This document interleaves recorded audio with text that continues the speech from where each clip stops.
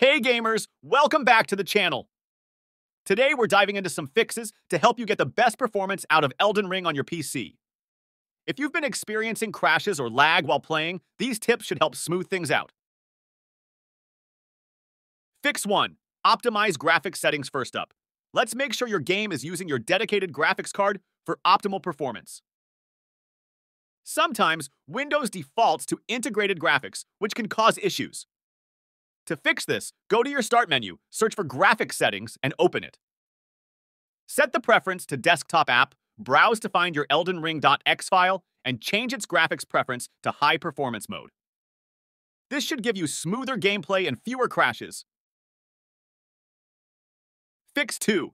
Disable Full Screen Optimization.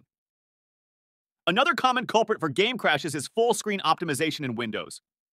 Disabling this feature can often resolve those issues, Simply right-click on the Elden Ring executable, go to Properties, head over to the Compatibility tab, check the box that says Disable Full Screen Optimizations, apply the changes, and you're good to go.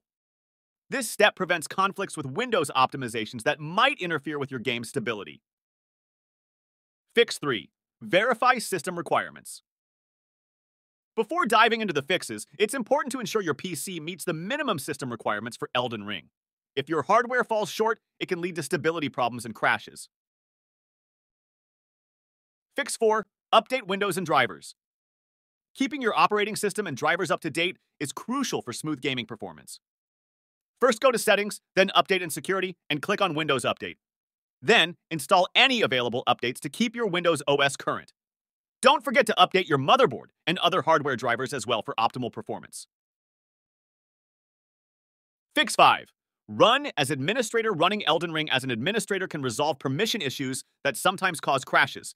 Just right-click on the game's shortcut or executable, select Run as administrator, and that might just be the quick fix you need to stop those crashes. This gives the game the necessary permissions it needs to run smoothly. Fix 6. Verify game files. Lastly, corrupted game files can also lead to crashes. If you're using Steam, here's how to check and fix that. Right click on Elden Ring in your Steam library, go to Properties, click on Local Files, and select Verify Integrity of Game Files.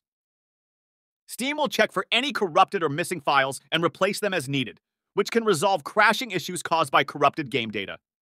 And there you have it!